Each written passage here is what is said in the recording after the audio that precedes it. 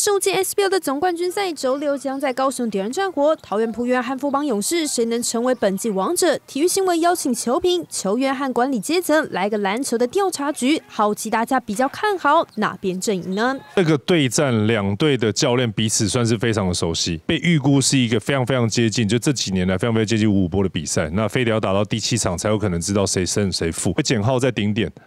的三分线的发挥会攸关整个浦原整个在系统上进攻系统上面上面的空间，然后再来就是施晋尧在外线的表现，在季后赛跟去年失误在情绪上面控制比较好的情况之下，其实帮助球队很好的一个得分点。中线的得分一直以来是副帮，如果能突围。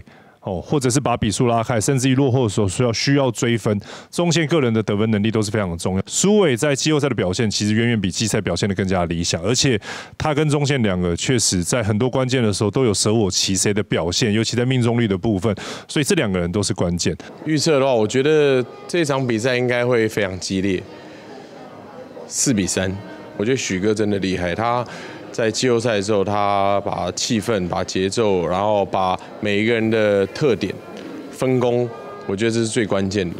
那他在气氛上面掌握的很好，气氛对了，人就对了。我觉得是四四比三，然后富邦局队的教练之前是浦原嘛，一定是对浦原非常的熟悉，就是一定会想出浦原想不到的策略。我觉得浦原会冠军，四比二，因为。他赢我们，这系列赛四号位可能是关键。